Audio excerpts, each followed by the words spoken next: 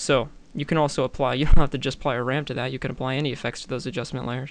Very useful rather than going in and manually using, even though the plugin is great and it adds for a bunch of dynamic control over the glow, I just particularly, I wanted that gradient feel to it. So whatever you really want to do, completely up to you. And, uh, you know, experiment with it. You know, have fun. Have fun. That's the most important thing, guys.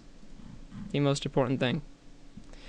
So anyway, that pretty much wraps up the tutorial, but I did promise, you know, at the beginning of the video, just for those of you who are curious, how I went about doing the full effect.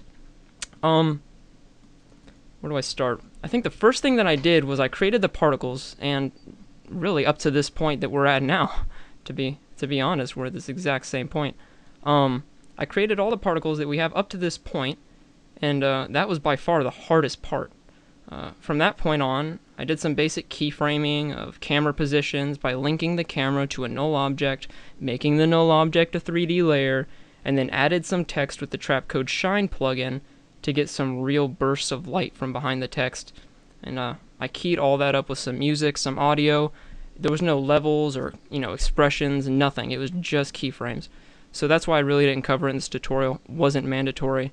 Um, you know, all this stuff was covered in my previous lessons. So with that, as always, guys, my name is Graham with Tutorial Clarity. Let me get the zoom right before I say it. Maybe move a little to this way. There we go. Take care.